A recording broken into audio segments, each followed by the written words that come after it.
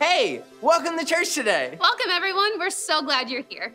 Man, we have so much in store for you. First, we have values, then we have worship, then we got a main point, and a video we're all gonna watch together. Hey, so let's get started with our values. With our values. Now, I wonder who Hmm. knows value number one? Let's see, let's see. Najee! Do you know Me? value number one? I do, it's my favorite. What is it? Love God. That's right. That's our first value. Now, do you know why we love God? Oh, I do. I do. I know it for sure because God is love and he first loved us. So we love God. It's so important. That's right. And then we have our second value, which involves God because we're supposed to love God and then love somebody else. Do you know? My mom and dad, Yep, that's part of it. my brother and sister, Yep, that's another part. uh, all my friends, That's right, all people. all people. Yeah, so our second value is to love people. We love people because God loves all people. Ah, it's amazing. God's so good to us. He is. Now, guys, this third value, we want to see if you know it. So you tell us on a count of three what you think it is. One, two, three. Do your best. That's right. Do your best is our third value. And when we do our best, God does the rest. yep, that's It's right. awesome. Now, Najee, Yes.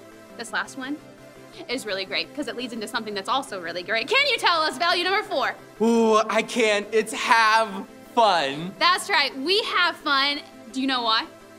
We have fun because God gives us joy. Yes, He gives us joy. That's a great thing.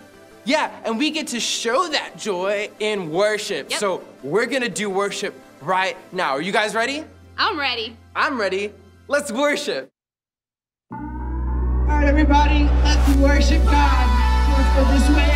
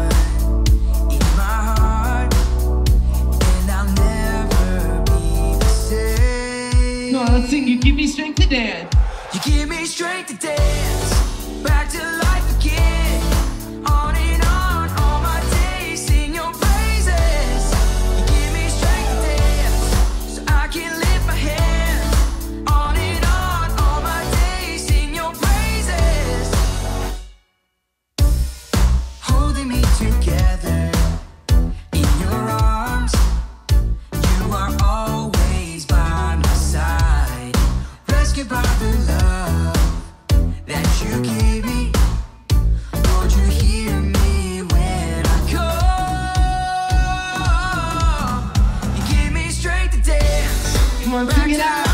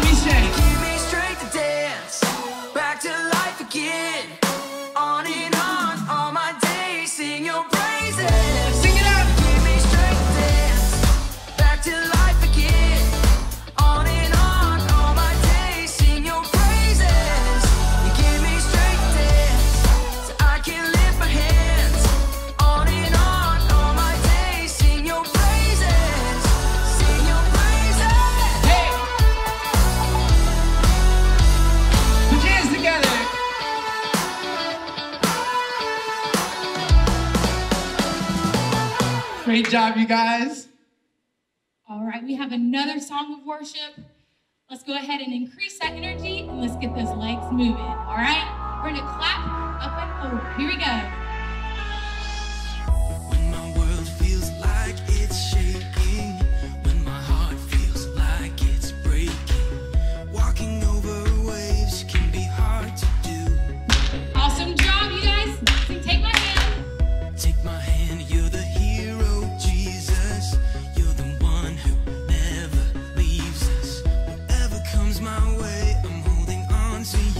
Let's sing it out.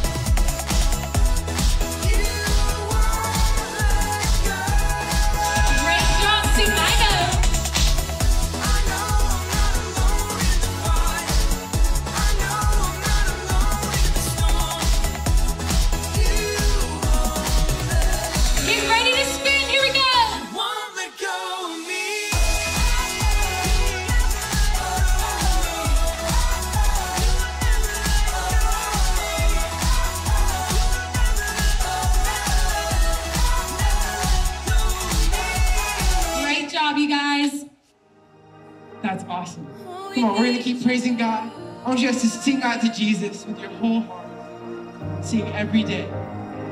Every day in your hands, you were there before time began.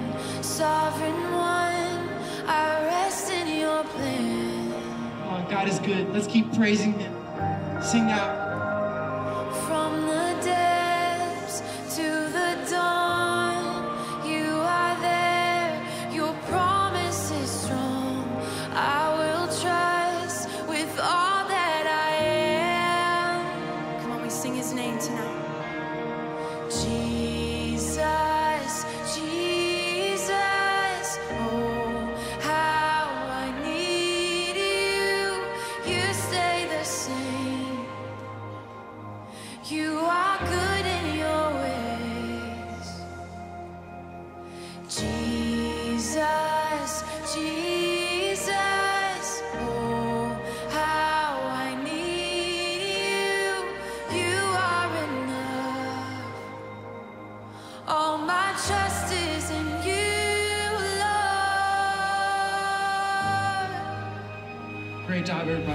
See,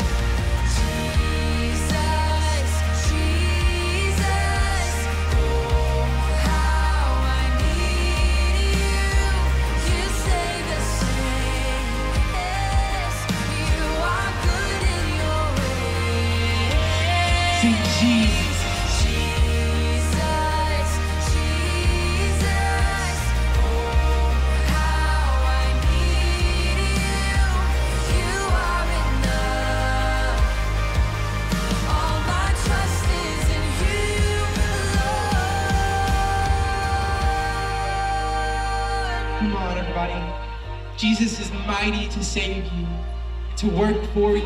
He loves you so much. So let's worship God because he is love and he first loved us. Come on, sing, you are powerful.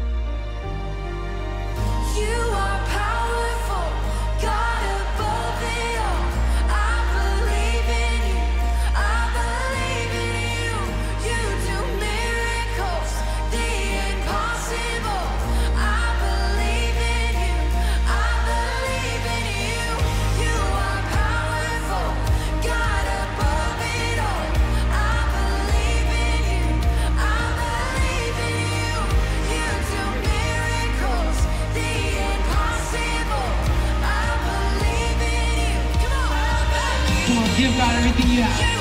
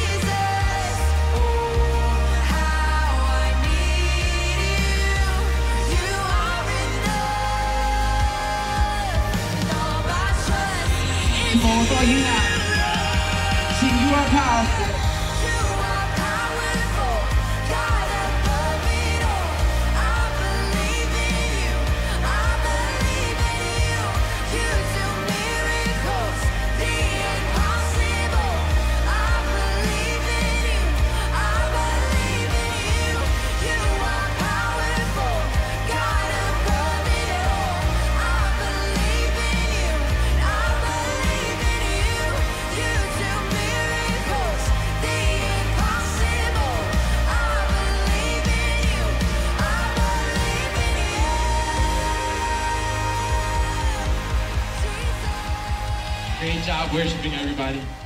Hi, everybody, let's go ahead and bow our heads and close our eyes. We're going to pray.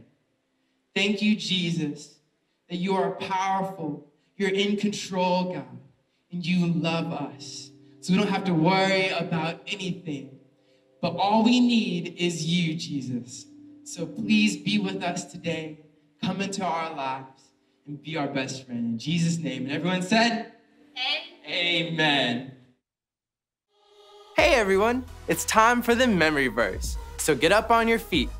This first time, I'll say it and you watch. The second time, I'll say it and you repeat after me. And the third time, we'll all say it together. If you're ready, put your thinking cap on. All right, this first time, I'll say it and you watch. Finally, brothers and sisters, whatever is true, whatever is noble, whatever is right, whatever is pure, whatever is lovely, and whatever is admirable. If anything is excellent or praiseworthy, think about such things. Philippians 4 8. Okay, everyone, this time you're gonna repeat after me. Finally, brothers and sisters, whatever is true, whatever is noble, whatever is right, whatever is pure, whatever is lovely, whatever is admirable. If anything is excellent or praiseworthy, think about such things. Philippians 4 8. Great job, you guys. All right, this time we're all gonna say it together. Here we go. Finally, brothers and sisters, whatever is true, whatever is noble, whatever is right, whatever is pure, whatever is lovely, whatever is admirable, if anything is excellent or praiseworthy, think about such things. Philippians 4 8. Great job, you guys. Hey, keep practicing that memory verse, and we'll see you next time. Way to go, guys, on that memory verse. We're going to move into our next part of the service, which is our, Our main point. So, our main point for today is even when I feel hurt, I can still love like Jesus. Oh, What's wrong, Najee? uh, that's kind of hard for me right now, Alexis. Why? Well, I was working on this really cool Lego statue at home, Love and Legos. I was building it for hours. It looked so cool, That's Alexis. awesome. But then my big sister came by and she broke it. And I'm Oh. so upset about it. Like, I wish that she could feel how I feel and that she could get what she deserves. I'm so frustrated. You know, Najee, a lot of people struggle with those same feelings. When you're hurt, it's hard to still love. But God wants our reaction to be love, not to always just feel hurt and want to get back at someone. So, we're going to learn a little bit more about that today and how Jesus still loves us even when we do things that might hurt him. So, Yeah. we're going to learn from Jay and Jeremy today in this video. Check it out. There's a sun coming up my in my soul. Coming up in my soul, in my soul. I see the light. I see the light. I see the light. What's up? What's up? What's up? What's up? What's up? My name's Jeremy. It's a lot of what's ups. Yeah, I felt it in my bones. It's okay though. Yeah. My name's Jay, and we're so glad you're hanging with us today. We are. And today is going to be great because we're going to be talking about our thought life. You know, I thought we would be talking about our thoughts, but I thoughtfully thought that we would think about what we were doing when we talked about our thoughtful tips first. Uh, I, I, I think you're thinking correctly. Let's do All it. All right. Tip number one bring your Bible to church every Sunday. We're not just going to read off the screen, We're going to be learning how to find the scriptures in our actual Bible and read the word all together. Man, that was a thoughtful tip. Yeah. You really thought about that tip. I think I did. I think you should watch me do my tip. Okay, okay, okay. Tip okay. number two: bring your listening ears. Yeah, yeah. We're What's gonna- up? Yeah, I'm listening to you. I feel Who, who you calling there, bro? Hey, I'm doing important things. Who you listening to? Yeah, yeah. I'll meet you at the White House. All I right. will be there Oh. on my private jet. I'll Oh. Yeah, cool. listen up. We're gonna learn a lot this series, and we don't want you to miss any of it. That's awesome. Hey, uh, question for you, man. Have you ever wanted to get back at someone? Ooh. Like they may have done something to you where you thought you needed to get even with them or get back at them? Not off the top of my head. I mean, oh, wait. There was this one time when I used to race horses. Hold on. You um used to race used to race horses? yeah, horse racing. Horse racing? Horse races. Jay, you you would race horses? Gideon. You Gideon, raise Gideon, horses or you raced horses? Gideon. Or like you raced we're gonna find out.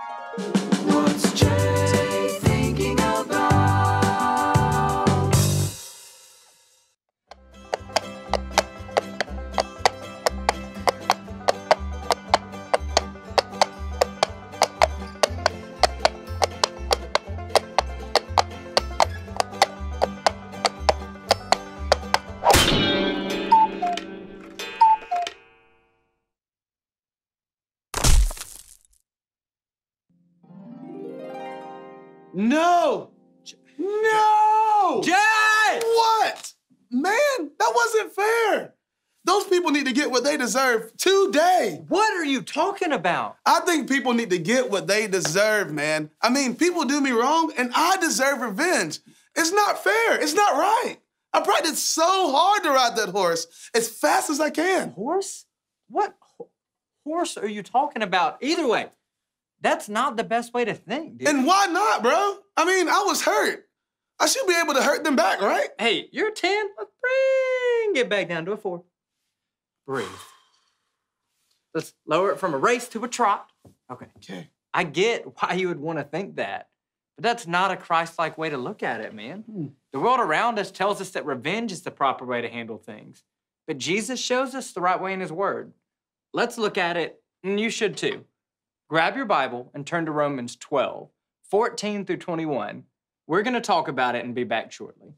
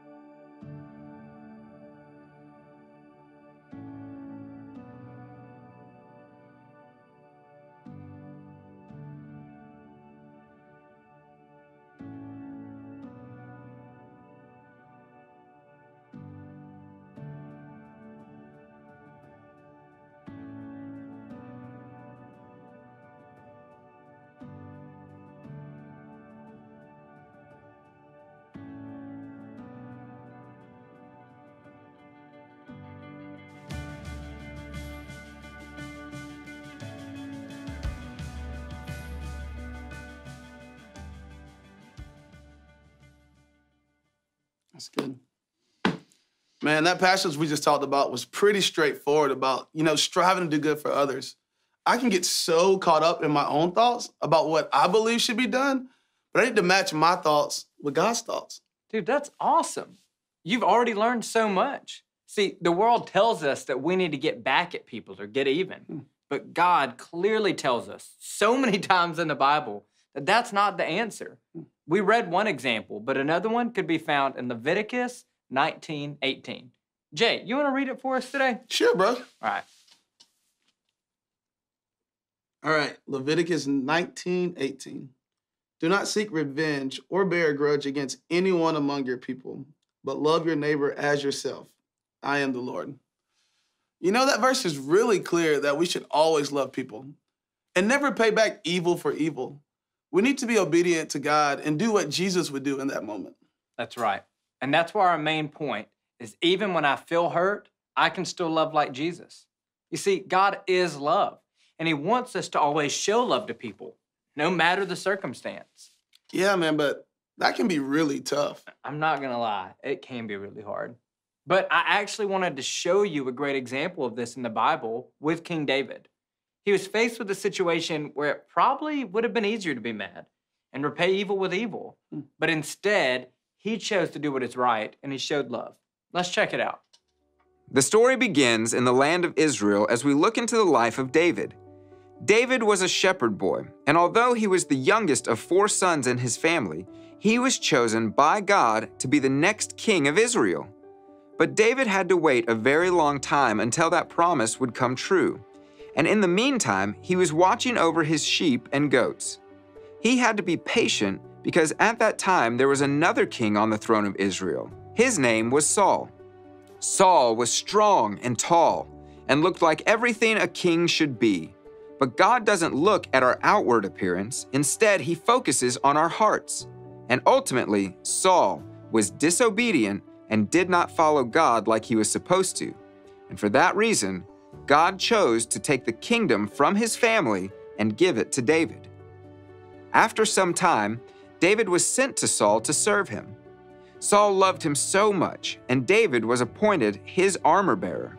David became a great warrior, and after defeating Goliath the giant, Saul named him the commander of his armies, and David became successful in everything he did. Everyone in the kingdom loved David, but this started to make Saul jealous and angry at David because he was afraid of him and thought he would try to kill him and take the throne away from his family. So Saul wanted to kill David, but the Lord was with David and he kept him safe. David fled and escaped to multiple places after he was warned about King Saul's intentions.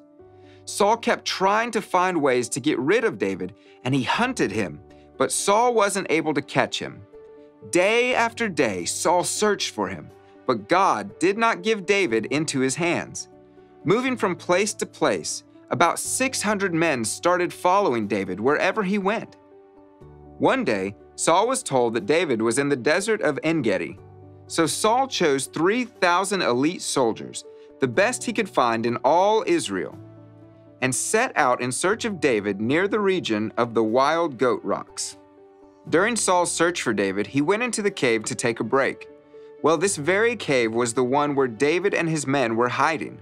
And when David's men saw that Saul was unaware that David was there and unable to defend himself, they whispered, Now's your opportunity. Today the Lord is telling you, I will certainly put your enemy into your power to do with as you wish. So David crept forward and cut off a piece of Saul's robe. Immediately he felt guilty, and David began to think that it was not right for him to harm Saul's life, even after all the trouble and all the hardship he has caused him. It was so easy for David to put an end to all of this, but he realized that no matter what Saul has done, it was still not right for him to hurt the one who God had chosen as king over Israel. So David ordered his men to step away, and he did not let them harm King Saul. Saul got up, left the cave, and went down to the road. David came out and shouted after Saul, My lord, the king! When Saul looked behind him, he saw that David bowed down with his face to the ground. Why do you listen to the people who say I'm trying to harm you? This very day, you can see with your own eyes this isn't true. Some of my men told me to kill you, but I spared you. I cut off a piece of your robe, but I didn't kill you. This proves that I am not trying to harm you and that I have not sinned against you, even though you've been hunting for me to kill me. Then David went on to promise that he would never harm Saul. David said that God would be the one to protect David and to rescue him from Saul's power. Saul said, Is that really you, my son David? And he began to cry. And he said to David, You are a better man than I am, for you have repaid me good for evil. Yes, you have been amazingly kind to me. For when the Lord put me in a place where you could have killed me, you didn't do it. Who else would let his enemies get away when he had him in his power? May the Lord reward you for the kindness you have shown me today. And now I realize that you are surely going to be king, and that the kingdom of Israel will flourish under your rule. Now swear to me by the Lord that when that happens, you will not kill my family. So David promised that he would not hurt Saul's family, and they left each other in peace. Now, Saul continued to cause difficulty in David's life, but David kept his promise, and in time, David did become king of Israel. David was dearly loved by God, and Israel did flourish under his rule. Because David did everything that God wanted him to do, and he was a man after God's own heart.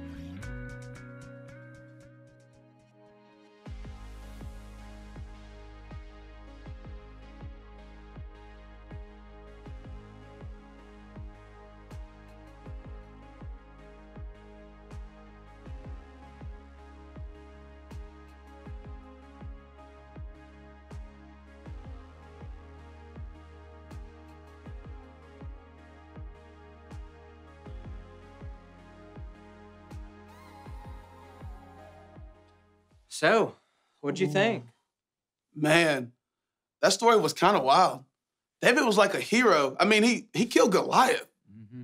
It was so crazy how his mentor, King Saul, got so jealous of David's popularity that he tried to kill him himself.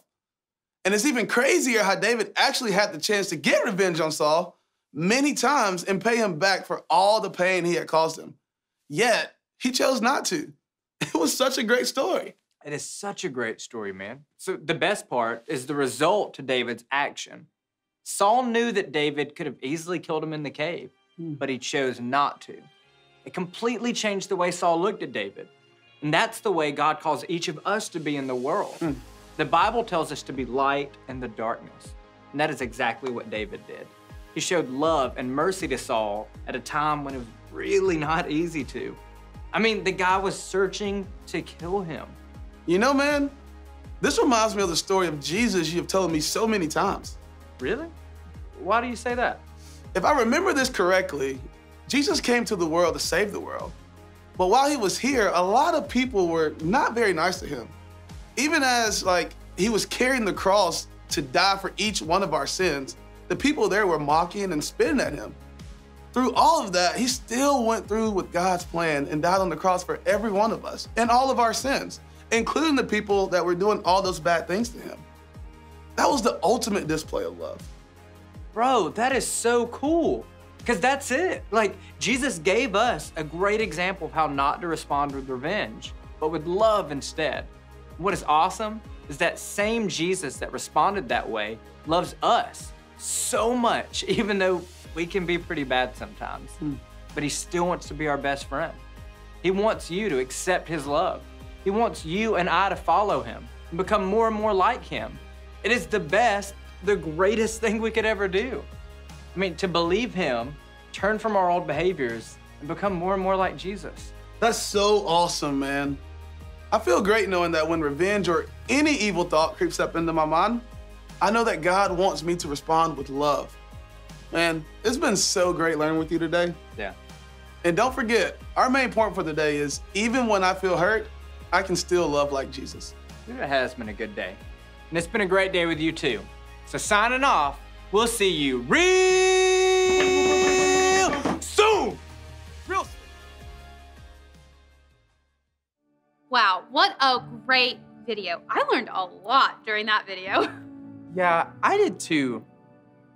I know it's gonna be hard, but Jesus asked me to show love to people. And I love my sister. I don't wanna be mean to her. So I'm gonna do my best and I'm gonna respond in love, even though she hurt my feelings. yeah, well, remember the story of David and Saul. I do. Yeah, Saul was in the cave and David had his moment to get back at Saul. But even though he was hurting, he chose to respond with love and not hurt him and honor him. That is really hard. It was really hard, but I wanna be like David. David was so cool. Yeah. Well, we had such a great time learning with you guys. After this video, there's gonna be a prayer card on the screen, and we really want you to pray this with your family and whoever's around you, because we need God's help to love people even when we're hurt. Yeah, that's right. And also, we want to give you guys an opportunity to ask Jesus into your heart. So Maybe important. you've never done that before. Well, today can be your day. So be sure to pray that prayer today. And if you do, make sure you tell your parents. We're so glad that you joined us today, and we cannot wait to see you next time. Bye, Bye. guys.